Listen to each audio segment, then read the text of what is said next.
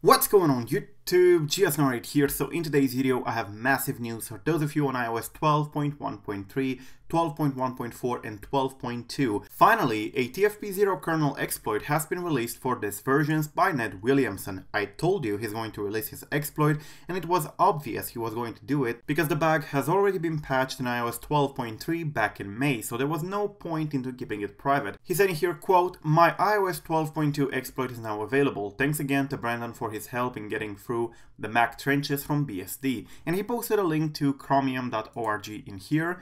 And it's basically the uh, the page of the exploit and you have all the files including the SockPuppet. That's the way it was called. And by default it only works with iphone 6s plus. But that's just a matter of offsets. We can just add the uh, missing offsets and most of them would work anyways from a device to another on ios 12.2 so no problem with that I've already started updating my jailbreak, the Osiris jailbreak, to work with iOS 12.1.3, 12.1.4, and 12.2.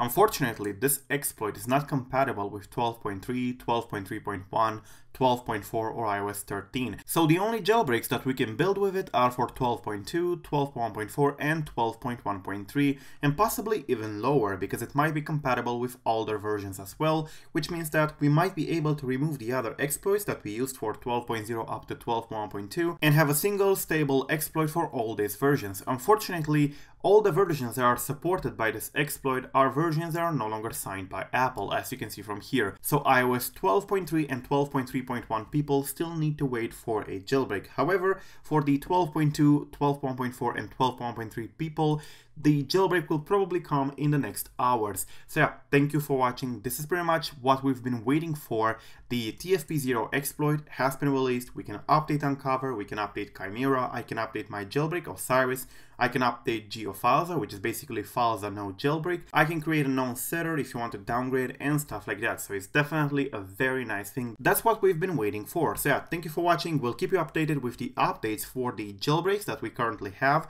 once they get updated for iOS 12.2 and lower. Until the next time, I'm GeoSn0w. Subscribe to stay updated and peace out.